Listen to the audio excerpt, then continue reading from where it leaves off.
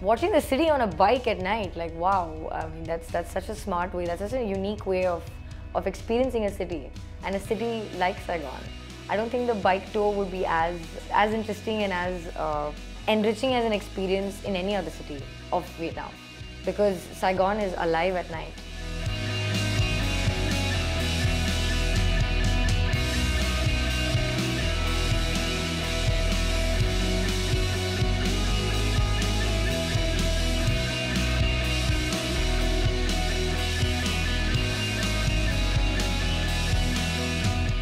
Oh my god, the snails were so yummy.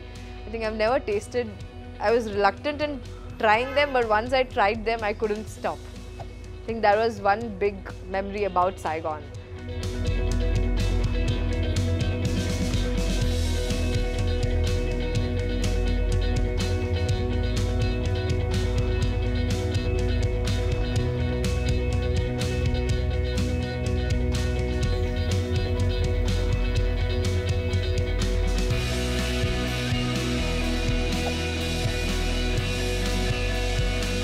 Was so excited for the Vespa trail. Actually, I was not expecting a group of so many of them coming in that old Vespa, which was the charm of, it was the charm of the thing, you know. Those old Vespa, everyone dressed in orange and with cute little orange uh, helmets. I really had to choose the cutest guy where I think I went wrong.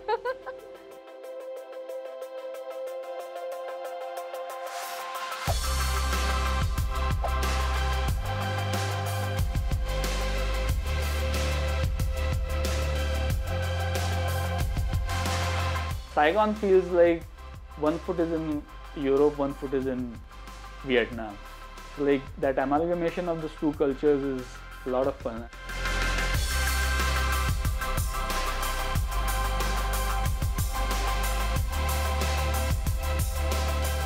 as opposed to being in an in a lounge sorry not a lounge but a place where there's a beautiful woman singing singing a popular number and everybody swaying to it uh, as opposed to quietly sitting and not wanting to move even a single inch so that you keep it untouched the the energy of the space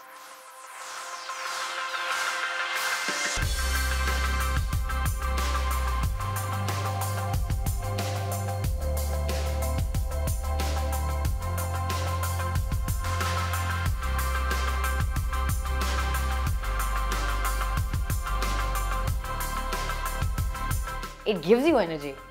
Saigon gives you energy. It's, it's my personal favorite.